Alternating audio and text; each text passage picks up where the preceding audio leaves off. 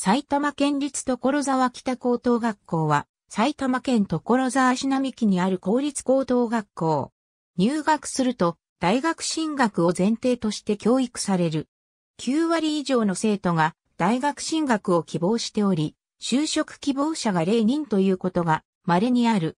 就職希望者は若干名いるが、就職後のキャリアアップのため大学進学者同様のレベルで教育が施される。なお、就職希望者は公務員を志望する者が多い。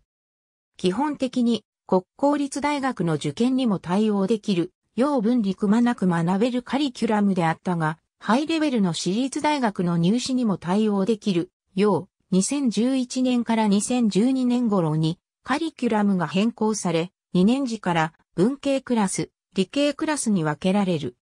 教員もより高い進路実績を目指すため、進路指導に熱心であり、夏休みや冬休み期間に大学受験を前提とした集中歩行が多く開講され、大学受験を控えた生徒は熱心に利用している。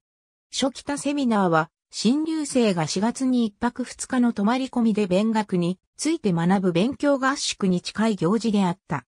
2018年度より内容が変更され、1日近隣のホールで授業内容や勉強方法を説明する簡単な形式になった。また簡単な合唱コンクールを行い、最優秀クラスを選出する。理数科を解説の目的として、国公立大学医学部への進学者を増やすことがある。普通科では時間数が足りないため、理数科で理系科目の難易度の高いところまで扱う予定。大学との連携も図っている。毎年ではないが、東京大学合格者を輩出している。国公立大学では、埼玉大学の合格者が多い。私立大学では、早稲田大学やマーチと呼ばれるも大学に進学する者も多い。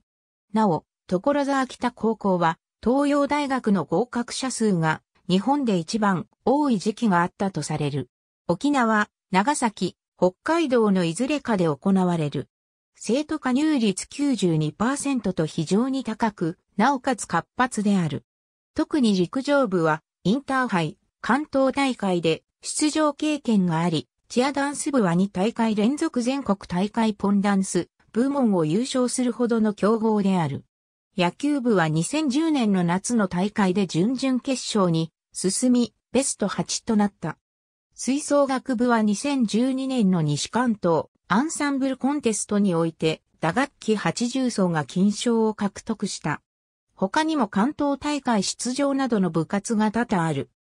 また、吹奏楽部は TBS 系ドラマ、仰げば尊しの第1話冒頭部にエキストラ出演しており、リード作曲、アルメニアンダンスパート1を、所沢市民文化センタ